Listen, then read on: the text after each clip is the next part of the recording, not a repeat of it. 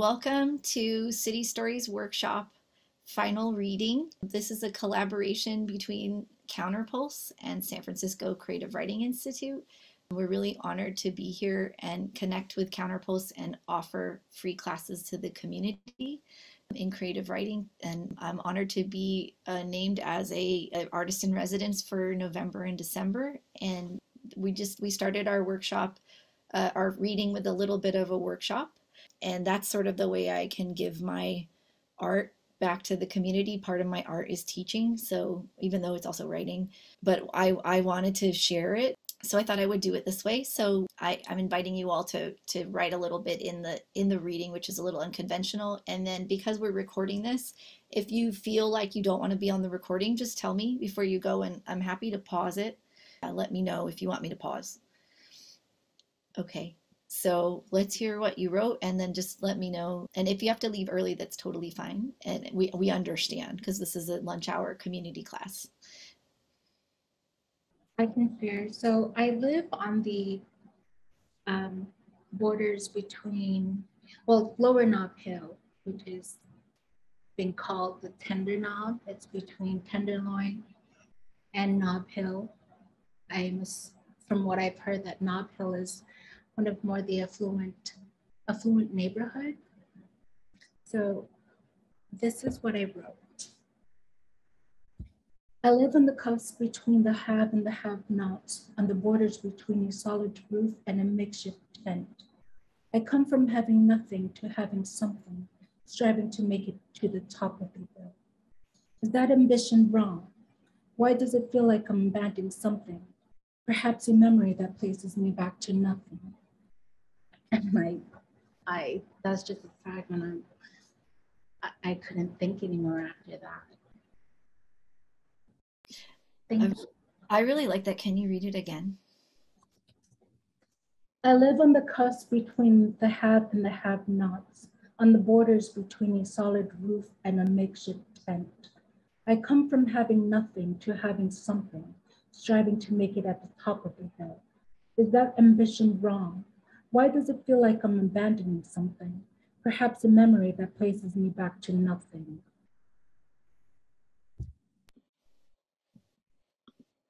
I really like the idea of I, I love the you have a kind of like beautiful way of putting in sort of like like fire in your writing that's really nice like maybe when you read it out loud it comes out even more but I live on the cusp of having something the haves and the have nots and the solid roof and the makeshift tent and the maybe maybe it's all that striving. It's really good. And it also it i could see the beginning of internal conflict you know and i wanted to know more about that and the internal conflict of like trying to make it. Antoinette is saying beautiful. And I'm so sorry, this is such a different experience than in person. Because in person, we would be talking. Of course, we've never seen each other's face because we always had a mask, but now you know what it look like. But, uh, but we, you know, like it's, it's hard. Feel free to like chime in in the chat and unmute yourself anytime. I don't mind. Um, it's not the same as being together in a physical space, but it, we can, we can make it work yeah, it is. It was beautiful. I, Giselle, I want to hear more. Just keep going to that that place. Okay, good. Let's hear another. Does anyone else want to read? Can I make? Oh, sure. Go ahead and make a comment. Yeah, I really love that last line. I think it was roots coming from their throats. Um, and I really you know these stories and when people often write about gentrification they never really hold any people accountable. It's like we all know someone that was abused but we don't know any abusers you know? So you kind of really held put a name to like what gentrif who gentrifiers are and you named like a i guess an agent in that. So um I, I appreciated that. So thank you I guess I was also trying to take their power by saying that they're fake and they don't exist. Yeah, like they're pretend and that they're, I think that's a really good way of looking at it. Good. So uh, welcome Tongo, Eisen Martin. If you're just joining us, we, we're having a class at the beginning of our reading and just to kind of get us going, since we were a free class in San Francisco, and I gave a writing prompt that was write about two elements of conflict in the city. And it could be uh, entities it could be people but it, and it it can be poetry it could be prose and then everyone free wrote and now act you're going to read your piece right? Okay and oh if people don't want to be recorded you can tell me and i'll pause and then you won't be yeah sorry um, you know what's interesting um, this morning um, I, I wanted to invite my friend to this reading i told you because we thought it would be live and i mentioned that to you and um, so it was kind of free writing because I had to write her an email to tell her it wasn't happening. mm-hmm. Um, and I was writing about the location. So it's similar. So can I just read that? Because I Yeah. said, oh wow, it's it's kind of lines of what you were asking us to do. Mm-hmm. For. Our writer's group won't be live today. The teacher opted our final reading over Zoom and or the phone today. She said it had to do with the weather. I think it has more to do with negotiating the battlefield that is the Tenderloin, homelessness, drug use, shit and pee, doing drugs overtly like that should, doing drugs overtly like that should not be excused. Shooting needles, smoking crack, smoking pipes, drug deals. To think that I have even been afraid to take a swig of alcohol in, in public. At the Champs Elysees in Paris on my last trip in August 2019, Paul and I strolled down the famed avenue dotted with luxury boutiques. There was a chunky middle aged Arab woman clad in her black cover up wardrobe. She had been panhandling but then she decided to lie down in the middle of the pedestrian heavy street. She wasn't praying, she wasn't prostrating. She laid her body down on the ground. Perhaps it was her way of protesting the divide between the haves and the have nots, the woe is me proclamation. Pedestrians near her had to skirt her. She would get up, walk a few steps, and lie herself down again, making sure her message was broadcasted.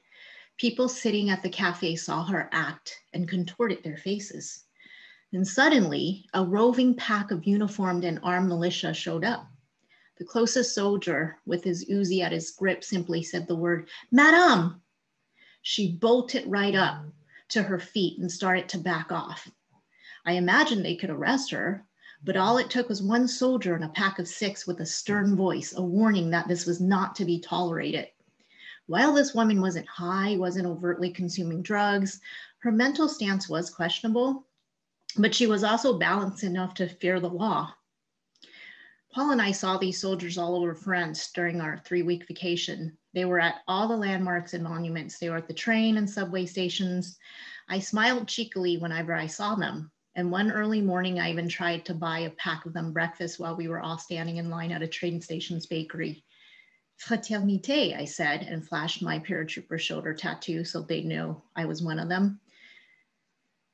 With the uh, shootings that are ever common in the States, my partner and I ima- said to imagine if we had this type of patrol in the US. Picture an active shooter in a mall, in a school. One of several of the six armed soldiers could prevent mass fatalities. One shot, one kill. It's really interesting way that you wove in your your own experience as a soldier. Um, I feel like there's more there, especially with the tattoo. And you, your part of the military has a special tattoo, right, Jennifer? I just opted to get that paratrooper badge. Oh, but in, it, so you so it's a special badge for the paratroopers, and those are the people who jump out of the airplanes, right? Right. Okay. Because women were not really allowed to go earlier. Um, not, I mean, we were, but combat roles in the past were not given to us. And so it wasn't something that, um, you know, they didn't encourage women to go. It was mostly men. So, um, but when you graduate, you get pinned with the badge, which is a parachute with wings. And you get that on your uniform. So I, for fun, I got that as a tattoo when I decided I wanted a tattoo. What did the soldiers say when you showed them your tattoo? Uh, but for that morning, it was just, hey, I want to buy you guys breakfast and I'm one of you guys. And, you know, a lot of times they raise their eyebrows like, is it you? Is it a boyfriend? Is it your husband, your father, your, you know, brother? Always someone related to me, but not me. Mm-hmm. Um, but anyhow, that, I mean, there's that whole language thing having to communicate to them in French. And so simply they said, no, we have government cards, like our breakfast is paid for, but thank you. Is it was this during the pandemic? August 2019. Oh, right before. Before the pandemic. I was able to get out there August 2019, right? We shut down in March 2020 I think we discovered it around January 2020 or prior. That's why they call it COVID 19. Right, right. Interesting. Thank you for sharing. Okay, let's start the reading. Um, I think that's a good way to start because that's kind of a pre-done piece. Who else has a piece they want to read? And then I want to introduce you guys to our special guests. I've invited two poets who I admire and I'd love to tell you a little bit more about them, but I, I want to hear more of your work first.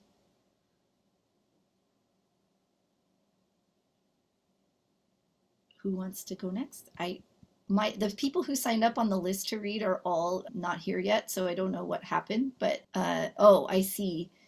They one of them is sick, and the other one is in a meeting for uh, an important meeting that can't be missed for housing. So that's okay. So so we'll these just, these pieces that we're going to read are those that were generated in the workshop. Yeah, it can be something else too. Mm-hmm. Well, I guess I'll go because uh, nobody else is, and I'm talking. So that's okay. I will. Um, okay, so I'm going to read uh, uh, two that were generated in the workshop, and one of them well, I don't know. I don't know. One of them's not very good, but I'm going to read it anyway because it wasn't very good when I started it, and then I fixed it, and we'll see how what the reaction is. Okay. Okay. Okay. Um, so it's called Shopping Day, and you might remember it. It was in the workshop. Um, so there was a two foot gap at the bottom of the escalator with no time to think. We had to leap. One foot outstretched, we resembled a crew of dancers descending. We were male, gendered, identified, trousers below the butt. We were nearly invisible elders. We were young moms hesitant to force the kids off the last platform. It was as if the end of an era or the end of the pandemic had dropped into that gap, and all we could do was jump to the other side. No alternative, we jumped or faltered, and either way, we got off the tram intact. Systems sometimes engineered for mishap, yet humans always adapt. iPhones in hand, book bags fastened. We cleared the drop, sometimes by just an eighth of an inch. We landed on our feet mostly, and we're glad that we could. Cannabis lovers would have us believe in our own superpowers, reimagining a world where equality in all forms was the status quo present to this instant, letting go, lifting off, jumping ship, making room at the end of the escalator, we feel our own needs ignored in capitalism and consumerism. Alternatively, we foster trust in humanity and ourselves when we reach out, grab a hand, jump over the two foot gap that brings us all together.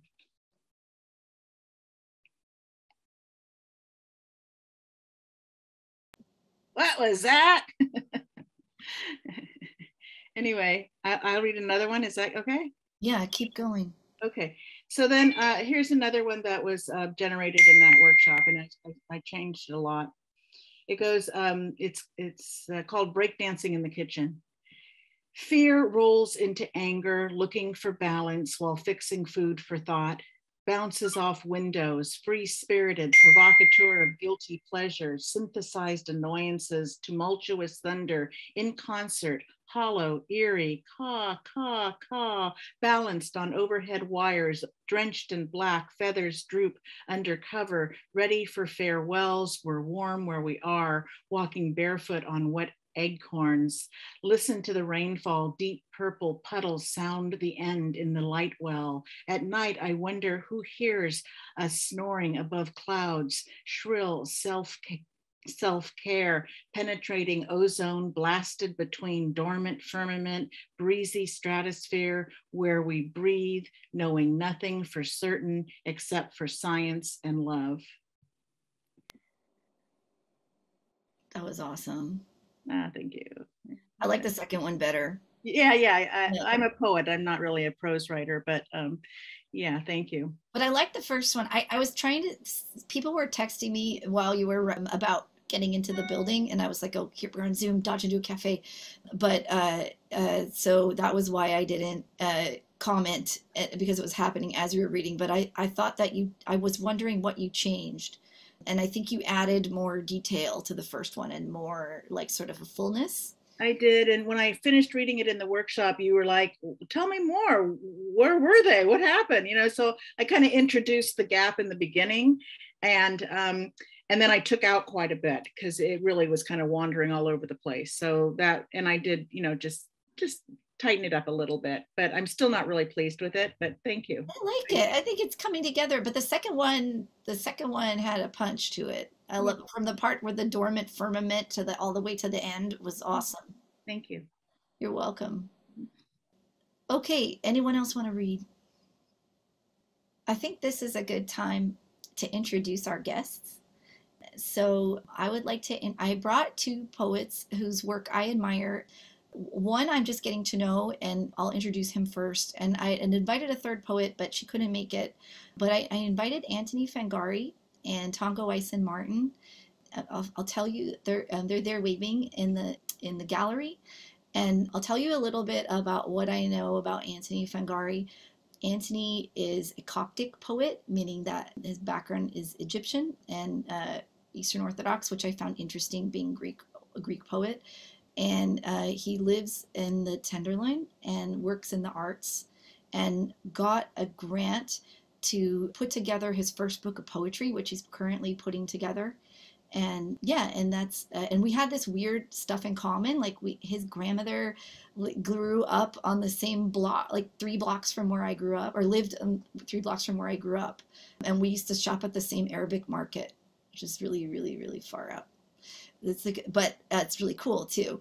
So, uh, without further ado, I'd like to introduce you to Antony Fangary. And Antony, please read us some of your poems to inspire us. Uh, that was a very generous and kind uh, introduction. I appreciate it, and I really love the what you're doing here. This is fantastic, and I've heard so much about the project. And I'm really happy to have finally connected with you and um, you know meet so many awesome writers and be exposed to their work. Um, also it's good to see my friend Tongo again too. But um, yeah, I'm gonna I'm gonna read a couple poems if you folks don't mind. Um, let me find it. Okay. Um, this is khuf, which means fear. Never forget your mother woke you that morning. You ran to the TV.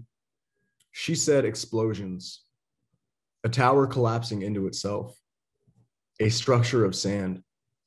Aware where you stood, how flags can flash like hammers, fabric and colors can beg. Never forget learning you were Arab. The first time letters collapsed onto you like soil. Never forget hating yourself, your food, music, name, what burnt knuckle hair smelt like. Your mother dyed her hair blonde plucked your eyebrows into slivers. Never forget the wet wrinkle in her scream when the second tower fell. That it meant something was to come. Your parents changed their names. Airplanes, random security checks, being accused of trying to start a caliphate, learning the word caliphate, the photo of Pope Shenouda, the trigger pull that followed, Never forget learning about Afghanistan, Iraq, Saudi Arabia, Iran, Palestine. How you, your Persian friend, your Af- your Afghan friend, started a tagging crew called Arabs with Attitude, though none of you were Arab. White kids wanted to join. You told them they had to get jumped in. How easily abdomens give to driving knees. How pink white flesh can flush when they first said never forget, and how bad you wish they would. When your friend's dad said they need to just nuke all the fucking Arabs. How stiff his jaw looked. The terror in your father's eyes when he saw you wearing a shirt that said diamond in Arabic.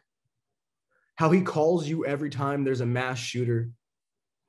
How he begs you to shave your face. How 14 people were killed near your house in San Bernardino. He begs you to shave your face. Never forget when your father told us that we deserve this. We changed the way the world travels. No other people have done this before. We have nothing to be proud of. Um, this is them, uh, Arabic for blood.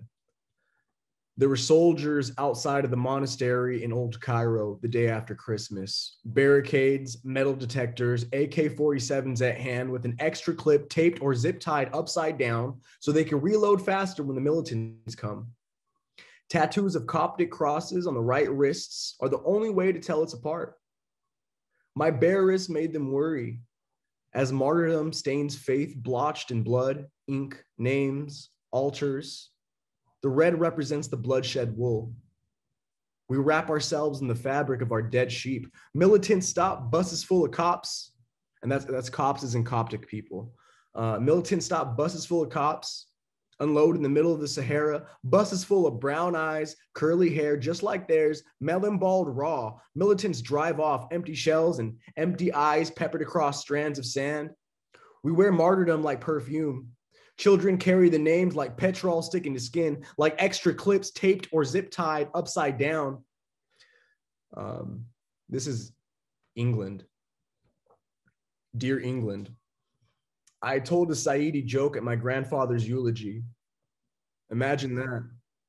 A room full of Egyptians mourning and laughing in English, speaking your spill, motor oil silting. We hear you in every word, England strung out in the room, gripping a map of Africa with one hand and a butter knife in the other, scraping names and blotting lines.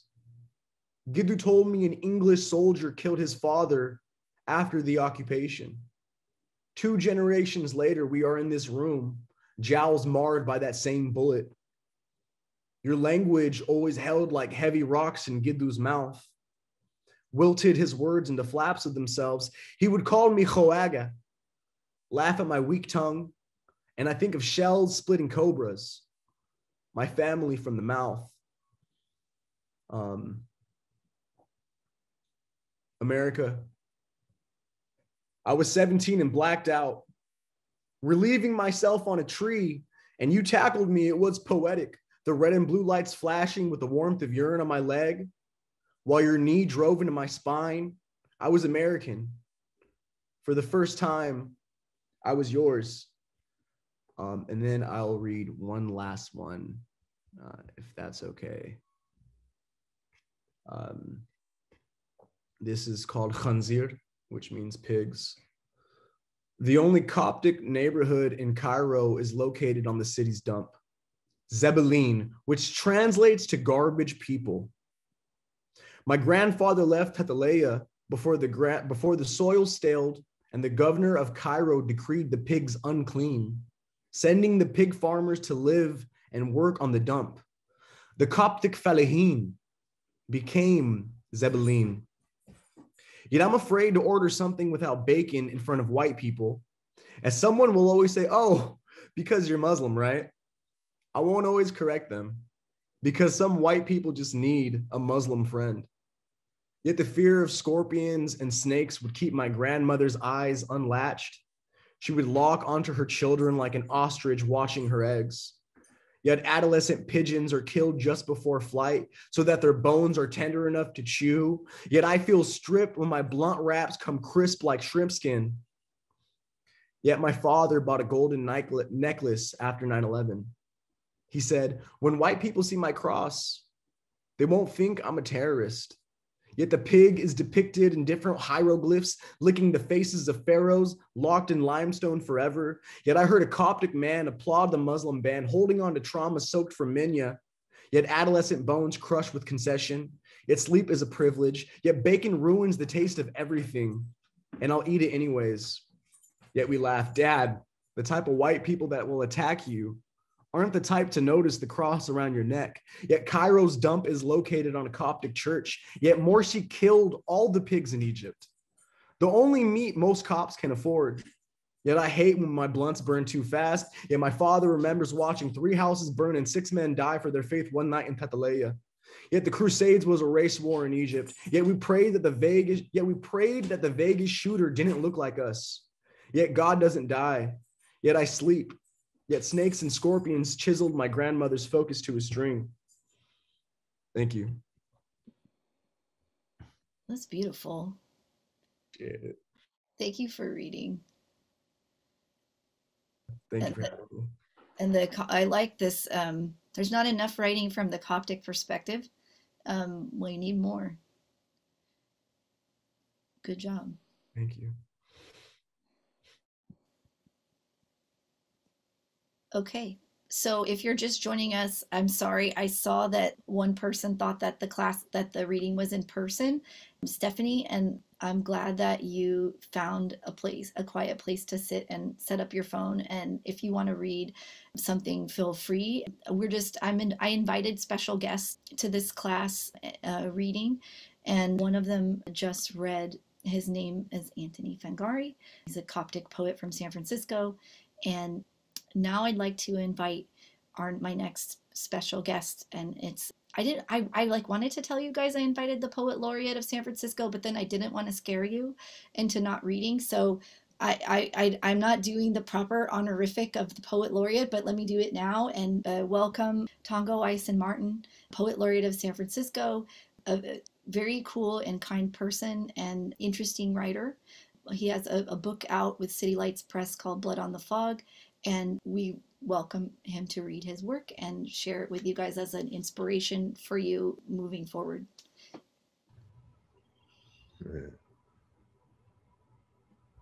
Um, you all prayed so perfectly just now in the growing San Francisco language. Tomorrow, we start again with the gold. New neighbors in a trance of spiritual infancy, newspaper people describing the way the non-white class body stretches out on benches, how the city will sit you down next to the kindest alcoholism, spare fanaticism, a steal in the shooting gallery that becomes a shooting gallery or the next vaudeville congress accordingly, newspaper people wanting in on underground gambling shacks, maybe even in on sensible proletariat retribution, perfectly. From your lips to courthouse tiles, the revolution that devils do, discovered by young artists in the complexity of passing, predictable, anti-elder, easy to kill, illegitimate to Africa, white counterculture like a lighthouse in the middle of a prison, or ageless joke about how well religions work where white authors have been, dreamscape for the petty bourgeoisie who have tempers but not dance floor tempers, who have to write fiction to redeem a neighborhood mauling, write myths about how the jungle makes its faces, makes its passports to the shelter system, mauling page after page delivered to powerlessness, sweet honey county line terrorism takes your neighbors, apostle brain matter what buckets are made for. Pray over these buckets, comment on slavery, loosen the white supply of whiskey, supply of white city. Why not shower with light? Really clean the blood off of your shoes and walled off language quotes from the newer undergrounds. The white movie drags on a ton of limbs made into one glass rim into a music of compassion or a star in the minds of the addicts who really count out here. When they talk about the summer, they make it sound like birds of prey were involved. Our next duet back in San Francisco, making money off of drugs again in the symmetry of rage, breaking the news that the city did not have to die young. Now, San Francisco police chief says, yes, you poets make points, but they are all silly. Police chief sewing a mouth onto a mouth. Police chief looking straight through the poet. Flesh market, both sides of the levee. Change of plans, both sides of the nonviolence. On no earth, just an earth character. His subordinate says, Awkward basketball moves look good on you, sir. Yes, we are everywhere, sir. Yes, unfortunately, for now, white people only have black history. We will slide the wallpaper right into their cereal bowl, sir. Surveil the shuffle. I'm a beggar. And all of this day is too easy. I want to see all the phases of a wall. Every age it goes through. It's humanity. It's environmental racism. We call this the ordeal blues. Now crawl to the piano seat and make a blanket for yourself paint scenes of a child dancing up to the court appearance and leaving a adult but not for home atlantic ocean charts mixed in with parole papers mainstream funding the ruling class only pacifism ruling class printing judges fiat kangaroos making judges hand over fist rapture cop packs and opposition whites all above a thorny stem cast plans picked out like vans for the murder show Anglo saints addicting you to a power structure. You want me to raise a little slave, don't you? Bash his little brain in and send him to your civil rights. No pain, just a white pain. Delicate bullets in a box next to a stack of monolith scriptures make these bullets look relevant, don't it? I remember you. Everywhere you lay your head is the capital of the South. The posture you introduce to that fence the fence you introduced to political theory. If you shred my dream, son, I will tack you to gunsmoke. The suburbs are finally offended. This will be a meditation too. My failing as a jail spirit or specific custody for me, monk.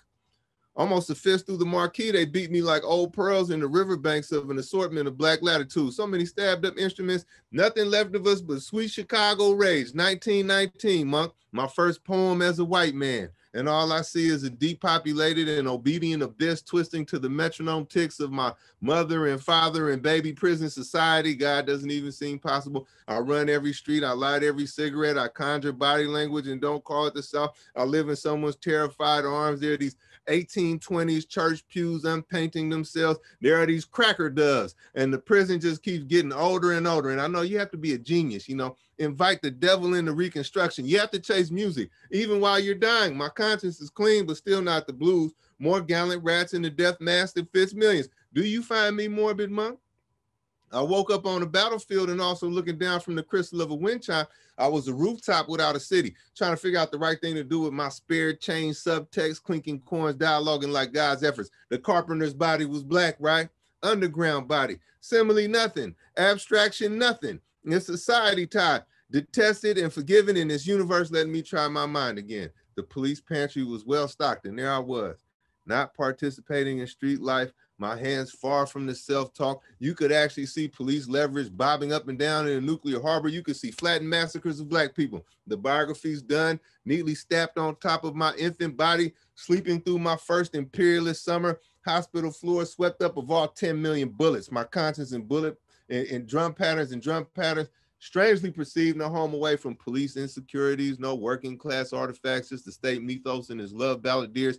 Europe serving two masters maybe 200,000 in a minor Christ, someone begging for change next to biography, stomachs pumped next to biography. I had all these seven day candles lit, monk, and I knew I was just not getting it. I mean, the pain was just not sliding down the notes right, not saving someone's world, just odd walls of fear asking, what is there actually a true self between these mildly confident walls, recalling how the front of the body feels outside, social contracts, well dressed and courted shrewdly, stabbed at shrewdly. the end. That's amazing. It's beautiful. I love the, I, I always love how you talk to another unseen figure in your poetry. And I love this monk who's is monk, right? M O N K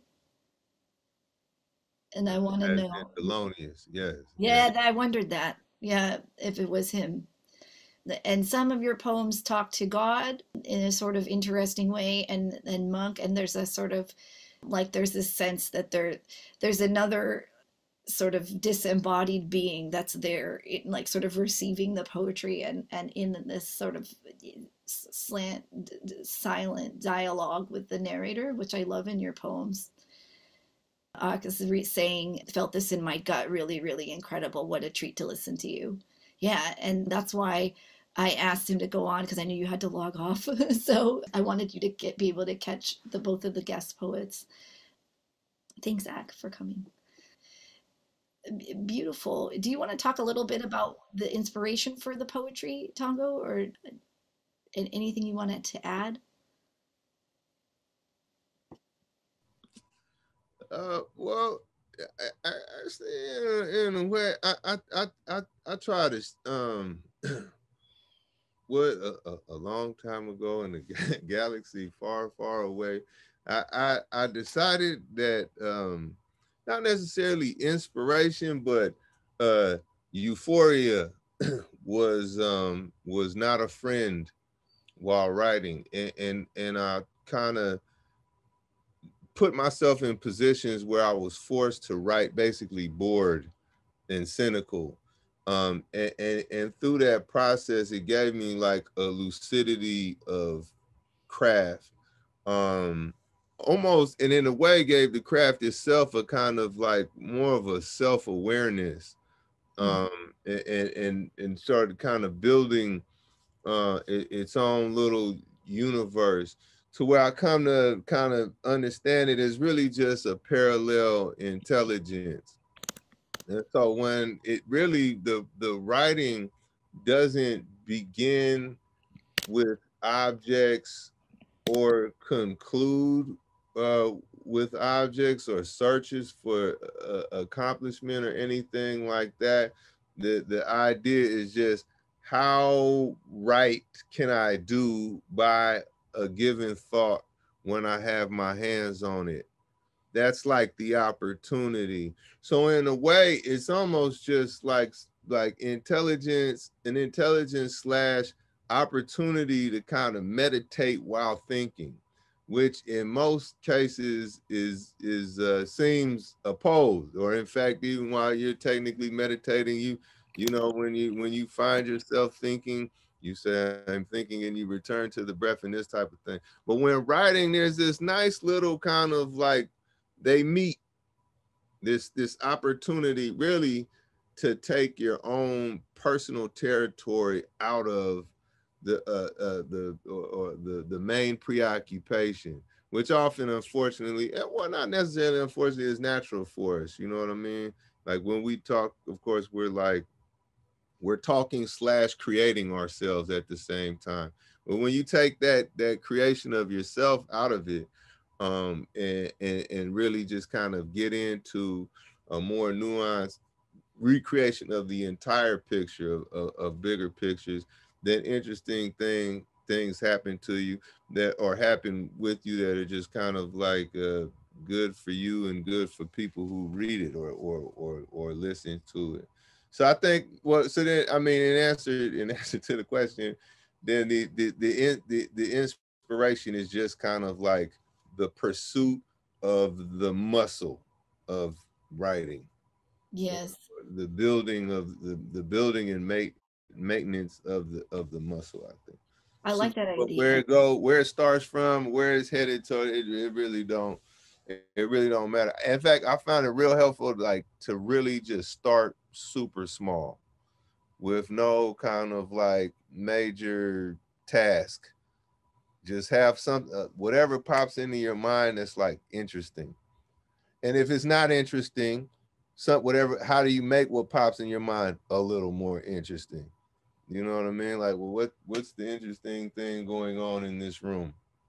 Mhm. It's a room I've come to take for granted, but there's something interesting in here that I haven't uh, pushed myself enough uh, when looking at.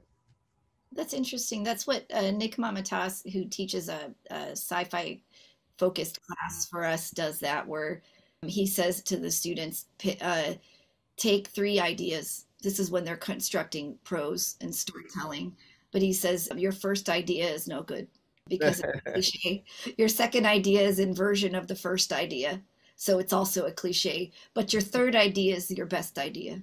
So Yeah. then go with that idea. Throw the first two away. But you have to kind of iterate the first two. But it's that same i- that same sense of like finding finding the truth and lucidity, thinking very lucidly. And it's interesting what you're saying about the opposite of uh, euphoria because we think you know when people romanticize what it means to be an artist or what it means to be a poet you think oh it's just taking drugs and feeling feelings and then like like listening to music and like oh i'm gonna write you know but it's actually really or i'm gonna make you know piano you know or i'm gonna play piano. But it's really a focused thing right that we're training ourselves to do and honing. And it's something that like your best work can be done when you're bored or when you don't fucking feel like it you know like when you don't feel like writing oh, um, even and even what what looks like when you're not digging at the time and then you look back and like oh actually i've i've climbed a, a, a significant mountain mm-hmm. uh, and, and, also I, I would i would emphasize that the the trick is to be the creator of the tricks so so that you know like what, what homeboy i forget his name uh, said, you know, you got the three thoughts and X, Y, Z. You know, um, I, am sitting here talking about well, look around. What can you? What have you taken for granted and can make more interesting? The the moral of the story is that you actually become. Eh, the more you go, the more lucid you get, the more you just ask yourself again, like, well, what is poetry in the first place? Or why is this line interesting and this other line isn't? Or what did I do to this line to make it a little bit more exalted? Or why when, when I say this, people lean in? Why when I say this, even I start to check out, right? When you have these these conversations, then you become the creator of these equations. And it's kind of like this this this pedagogy. And that's that's when it's clicking that's when and that and, and really that's like the destination you know? When when when craft is is just this beautiful kind of immersive living process for you the rest is just a vic what what comes out is actually just the victory lap is is actually just you know is your is is your reward how, uh, for for however the experiments go. But that's that that's really the life is is is just the creation of a cosmology of sorts. Like, yo, this is how my universe works. This is how it's expanding. You know what I mean? These are the various rules of it. This is how you break them on and on and on. World building. That's like what sci-fi fantasy writers talk about when they build their world. But every, I guess everybody, every writer does this. Their world building. Or, or build, or build your math. You see what I'm saying? Mm-hmm. Build your science. You know. Mm hmm Mm-hmm. And this idea of getting in the zone is very interesting and process begets product. I really like that. Like if you fall in, for those of you who are in method writing with me, we talk a lot about process over product, focus on the process, and then move to product later. And I think that's really cool. And and I'm thinking about what you're saying, Tongo, about getting in the zone and about there's a, a writer, I mean, a, a theorist uh, from, uh, I think I don't know where he is now, but he was at University of Chicago, and his name is Mihaly Csikszentmihalyi, and he wrote about zone, getting in the flow, and when people get into the zone and how they get there, and who are and and who are the most happy people. It's the people that can get into the flow, and he studied this idea of like a flow state and how how people are creative creative people get there, but it's not always create like his happiest person that he found was this guy who worked for a factory in the Midwest. And um, he was working at a very boring job, but his like making the same thing on an assembly line over and over again. But when he went home, he would do all these things to get himself into a flow state where, you know, he had his like the perfect sprinklers that he built. He, he would tinker. So you can be in the flow in anything. It doesn't have to be an artistic state, but it's very, very meaningful for artists. This concept, I think this idea of flow is very fascinating to me and how we get into the zone and, and how we don't. And so maybe by this dialogue, it's, it's triggering hopefully some ideas for you guys, for the, um, the artists in this room and especially beginner and intermediate and advanced. Um, like how can you get into the flow too? And how can you meditate while thinking and create your own external calculus? And um, anyone else have any thoughts that they want to add? To this idea or anything that you wanted to to thank you so much by the way it's brilliant any other things that it reminded you of or sort of moments of meaning that you wanted to to sort of highlight anything that was meaningful for you in particular. Radhika's saying, I liked hearing your notes on how to write as much as you're writing. Thank you so much. Marilyn said, enjoyed listening to your writing, and especially Jennifer and Antoinette as well. Marilyn, do you want to read something? I know you're visiting from our other group, but we love. I, I had something I could read, but unfortunately I can't access it because there's something weird. I did some to our computer this late this morning, and uh, that's why it took me so long to get on even. That's okay. Well, we'll just, if you find it, we'll come back to you. Um, who else uh, wants to read? Uh, Giselle, would you like to read something that you prepared? Um, we had you read your free write, which was wonderful, but do you have something else you want to read? Um, no, not not yet. I, I feel like my piece isn't ready. I'd like to most definitely share it with you all once it is completed. I am close. I like what what uh what Tongo had to say right when you know you're bored. I definitely do that. I think a lot. I I yeah, I, I just have to think more about my writing. I, I it's not yet ready. That's okay. That's it's in process. That's fine. Um, Stephanie, do you want to read something? And by the I, way, we're recording and we can pause it if anyone wants us to.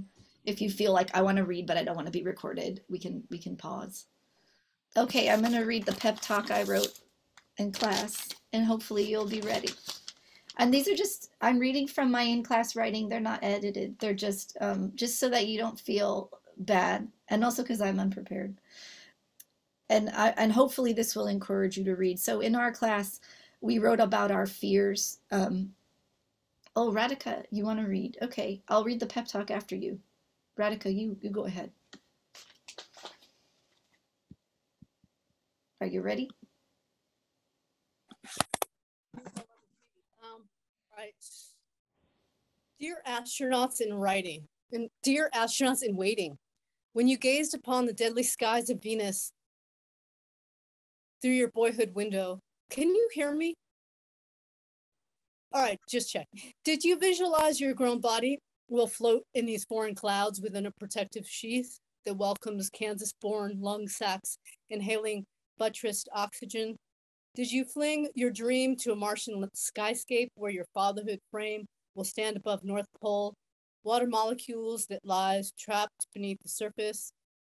You must know Martian water cannot carry the same heft of home when you drank a tall glass under a big sky blanket with Mars and Venus beaming like undelivered hope. What is it? The other one I think I'll save. Thank you. You'll see. Oh, I thought you said the other one you were going to sing. I was waiting for you to sing. Haha, I could sing, but really not in this space. I Um, hear, I hear. Yeah, yeah. I'm not. I think I'm the only person. I'm the only person whose two-year-old says two-year-old says stop. So.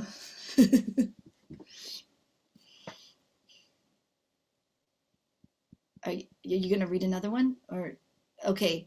I, uh, Aquila is joining us. Okay, so um, Aquila Lewis Ross has joined us from her car, which is the best place um, to have privacy sometimes. Why don't you go ahead? While Aquila is getting ready, I'm going to read you guys a pep talk, and uh, Aquila, let us uh, let us know when you're ready. Okay, here's my pep talk to everybody. So if the people who weren't ready, I hope you'll read works in progress because this is mine. Gentle writer, I hear your feelings about not going deep, but you will and you must. You've taken the first step about going deep by coming to this workshop. If you go if you if you go too deep, what's the worst that could happen? That you'd become vulnerable, that you'd cry, that you'd tell too much story. Too much story, dear writer, is the goal. Emotional vulnerability and openness are what connects writers and storytellers to others, and we yearn for that. We yearn to be heard. What if I increase my feelings of isolation by sitting alone, you wonder. And that is also an excellent point and a valid fear, dear writer. Writing is isolating, so is the human condition. But all throughout time, human beings have told stories, have yearned for stories. We turn to stories now more than ever in times of physical and emotional and technologically imposed isolation in order to make sense of our world. So write on, my dear writer, write on. Somebody somebody just like you somewhere else on the opposite side of the world is yearning to hear your exact story. So I wrote that in response to our writing. We, if you were in my class, we just we all wrote fears, and then I we all wrote pep talks to each other's fear. And if, if you remember, that was my pep talk to whose ever fear I got. And I totally have writing fears too, and it's okay if things are in progress because that's part of what a reading is is to test in progress work. And that's okay. All right our final reader. Goodness. Okay it, it's untitled. Um, part one dear lord. It's been a while i know and last time i came to you i was between the devil and the cold green sea so all i could do was ask for favors. This time, not that way, but just to offer you a list of experiences for which I'm grateful. For the intro to songs you implant in my head every morning. For Hozier's song, As It Was. For my Irish AA group down the road on Mondays. For my sponsor in AA, Ramona, the social worker who asked me, What is a true alcoholic? For Amelia, for arresting my habit of overspending. For a 12 week attempt at a business class at Renaissance for a new friend, Priscilla, the physical therapist, and for my potential job offer at Felton, for my cousin Thomas for giving me a ride to and from the Thanksgiving family party, for the free acupuncturist who harpoon my knees every time I see them on Clement Street, for the massive amounts of paperwork I got to do to get physical therapy. So I could just tell Nathan, I forgive him for what he couldn't do. Part two Dear Lord, it's me again, Radhika. I've become hard of hearing all of a sudden. What am I supposed to do and choose with my life? How do I know anything apart from you? Help me realize something good before it's too late. Dear Radhika, all the freedom you need is yours. I just want you to be happy. Remember the time you'd left Sparky for Chris and then Chris for no one and you thought you'd be crushed by the subsequent loneliness, but you made a new life. About that journey, you keep committing and then uncommitting to. Just begin it and stop worrying. You'll find some people to help you once you start. That is all. Thanks, Alexandra. I like the stream of consciousness and I like that it's talking to God and very interesting. Um, uh, beautiful. I'm going to read Aquila. Can I read yours? I'm just going to read yours for you. Or does anyone else? Because she posted it in the chat. And I feel like it should be read out loud because you made the effort to come. So I'll do my best to read it. Unless anyone else wants to read it.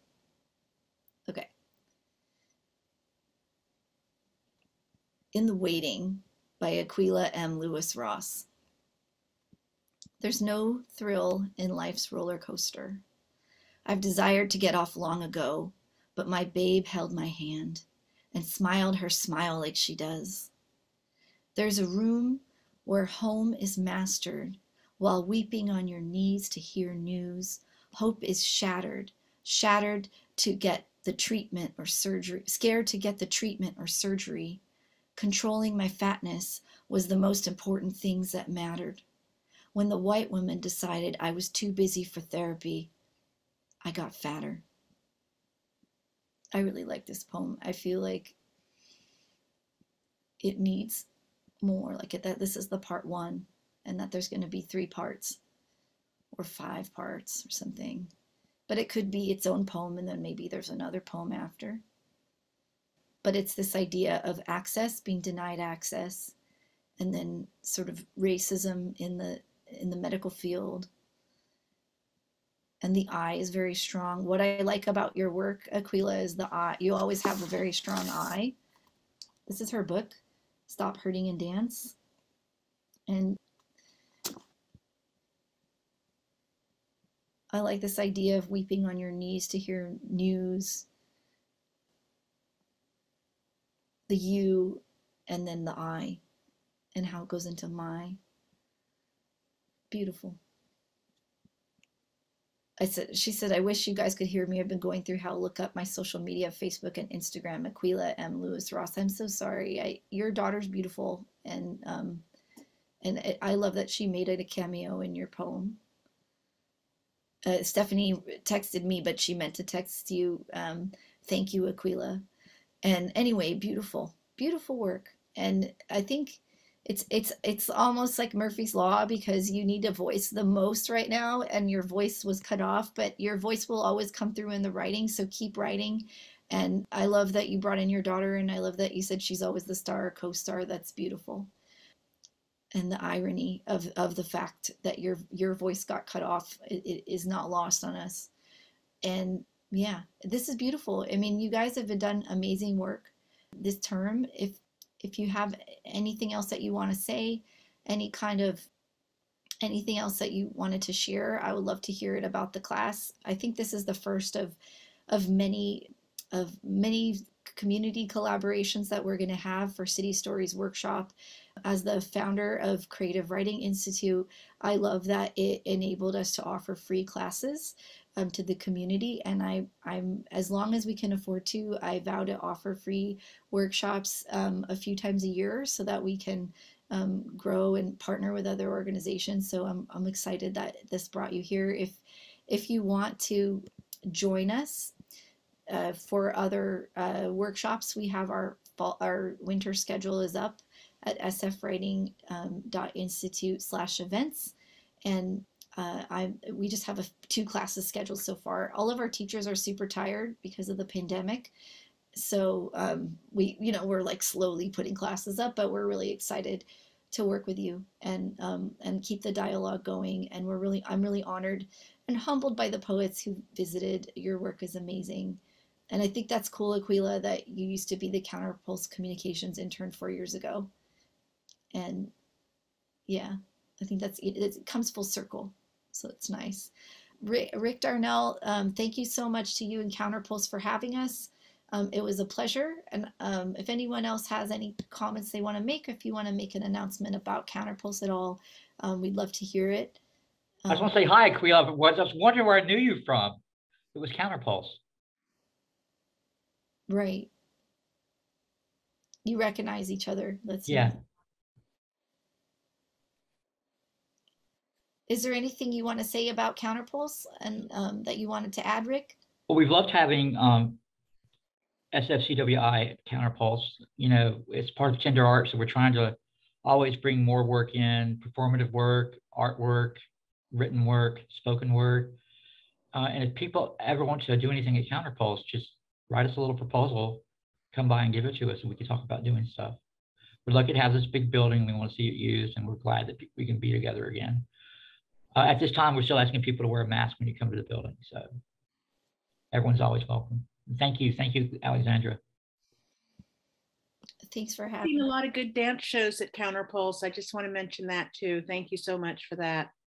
You're welcome. We love doing it. Mm -hmm. Rick, do you guys possibly have space to rent to somebody who's doing like dance instruction for an after school program? Yeah, of course. Yeah, we have my, a really nice studio. And my intention really nice to do it in July. Yeah.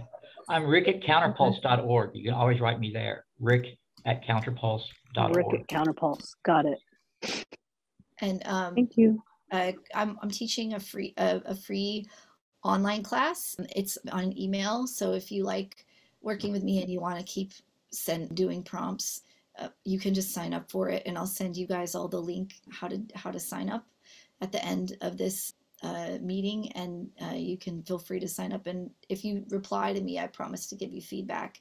For people who took my class, um, there'll be a place where all of the prompts are housed that you'll have special access to if you want to submit any work. and um, for feedback. But otherwise, it was a pleasure working with you. And if you're interested in our paid classes, I have a boot camp coming up called um, Find Your Creative Spark, and it's three days um, at the at the lunch hour in in uh, uh, Zoom, and it's from 11 to 1, uh, January 10th, 12th, and 14th, and it's all about sort of finding your flow with writing and getting on track for the new year. So if you're if that's something that interests you, would I'd love to have you. And I know Holly Hardy's teaching a poetry workshop, and we hope to be adding some more poetry workshops soon and fiction as well. So um, with that, without keeping you uh, for for too long, I I just want to thank you and for coming and yeah, and if, if you I'm going to turn off the recording, and if you guys want to chat um, and visit, feel free.